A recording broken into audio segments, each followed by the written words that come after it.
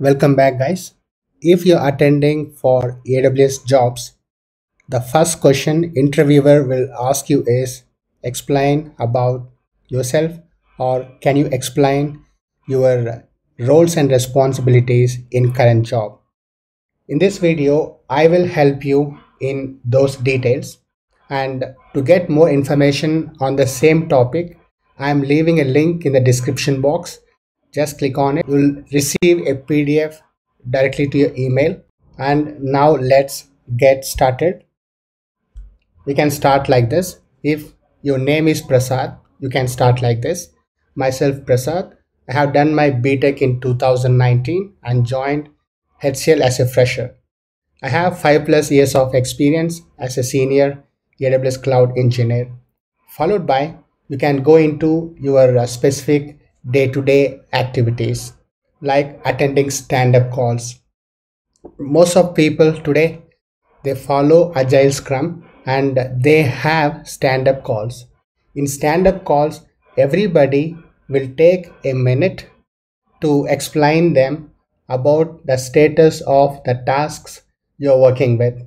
That's one thing. And second checking your email box. Why? Because there could be some important emails which is intended for you, you must read them and you must reply to those emails. And there could be some meetings. Um, maybe let's say uh, I am collaborating with a Splunk team uh, for my Jira story, and uh, I, I will set up a meeting with that Splunk team, and maybe I have to attend that meeting, or the other way. Uh, maybe Splunk team wants some information from you, or some other team wants some information from you they will set up a meeting and you should be attending those meetings. Then yeah obviously uh, i will progress on my jira stories. Let's say there are three stories assigned to me in jira for current sprint. I should progress on those jira stories. Part of my roles uh, i also create a hld stands for high level design documents and LLD stands for low level design documents.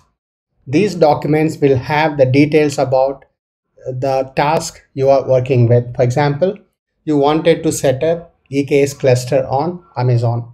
So for this, you must have a design document which provides information such as VPC, subnets, is it private, public, CIDR ranges, those details has to be documented and uh, some companies follow uh, creating uh, design documents and some companies do not follow creating design documents.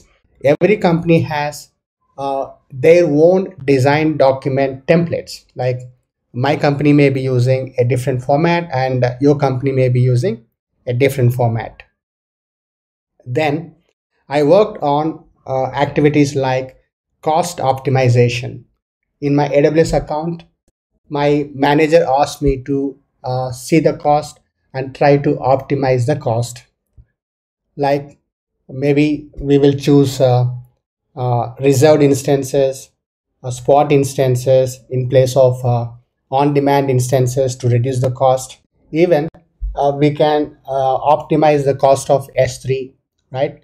Like considering moving data from standard storage to Glacier or Glacier Deep Archive. There are so many areas uh, which can be uh, used for optimizing the cost. We can optimize cost on CloudWatch logs. Basically, CloudWatch logs charge a lot for data ingestion.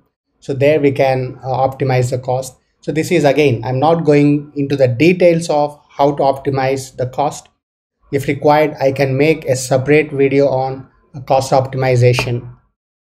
Then I am responsible for creating and maintaining AWS infrastructure using infrastructure as code tool that is Terraform. So here uh, I use Terraform for creating modules and uh, uh, updating modules for my infrastructure related changes like I may create a module for ECS EKS, S3 likewise. I set up Jenkins pipeline which takes my Terraform scripts from Git and uh, which will automatically uh, apply those changes onto uh, dev, uh, test, staging, and production environments. I'm also responsible for managing permissions, working with IAM, like managing permissions for users, managing permissions for services. So for that, I create policies and I work with IAM roles. Guys, these are the points you can highlight in the question about roles and responsibilities in AWS job roles.